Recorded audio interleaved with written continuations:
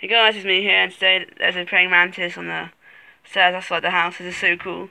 I've never seen one in the world before. Look at that. Look at its movements. Pretty cool, hey?